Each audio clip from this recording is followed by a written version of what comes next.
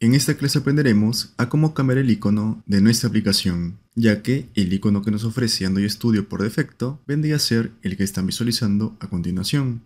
Entonces para realizar el cambio, se van a dirigir al recurso de esta clase y yo les dejaré adjunto el siguiente icono. Procederán a copiarlo. Como siguiente paso van a dirigirse a una unidad de su ordenador o laptop. Yo en este caso me dirijo al disco C. Y por aquí voy a crear una nueva carpeta la cual se llamará icono-agenda app. Muy bien, abrimos esta carpeta y pegamos nuestro icono. Muy bien, ahí lo tenemos. Hay que recordar bien la ruta. Como siguiente paso, vamos a dirigirnos a la carpeta de recursos.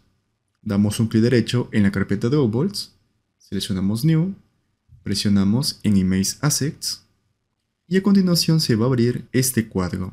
Vamos a seleccionar en este icono, el cual nos permitirá abrir el explorador de archivos. Y como bien recordarán, yo creé una carpeta la cual se llama icono agenda app dentro de la unidad C. Entonces vamos a ubicar esa carpeta, desplegamos y aquí deberíamos encontrar nuestro icono. Lo seleccionaremos y presionamos en OK. Muy bien, como siguiente paso tenemos por aquí el campo nombre. Este sería el nombre por defecto, el cual ya se encuentra en uso, es por ello que aparece esta alerta. Entonces vamos a borrar y vamos a asignarle un nombre diferente, el cual será icono, agenda, guion bajo, app. Perfecto. En la parte derecha tenemos una previsualización de cómo se va a visualizar nuestro icono con diferentes formas que tiene un icono dentro de Android. Vamos a localizar esta opción la cual se llama Resize y ustedes con este puntero van a poder ajustar el tamaño de ese icono. Yo lo dejaré en un 53% y como pueden apreciar el fondo es de color verde. Para cambiarlo nos dirigimos a Background Layer, seleccionamos Color dentro de Asset Style y a continuación se va a habilitar este cuadro. Presionamos y vamos a seleccionar el color blanco. De esta manera nuestro icono se aprecia mucho mejor.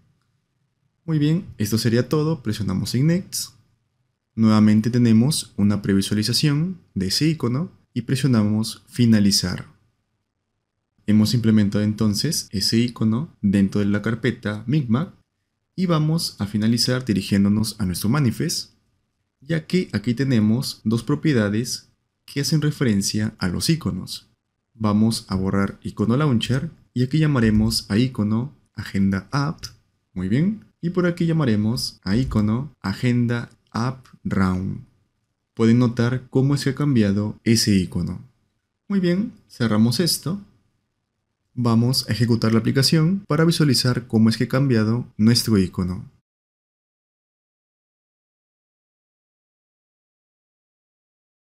Muy bien, entonces salimos de la aplicación y de esta manera hemos cambiado exitosamente el icono que tendrá nuestro proyecto. De esta manera estamos culminando con la clase.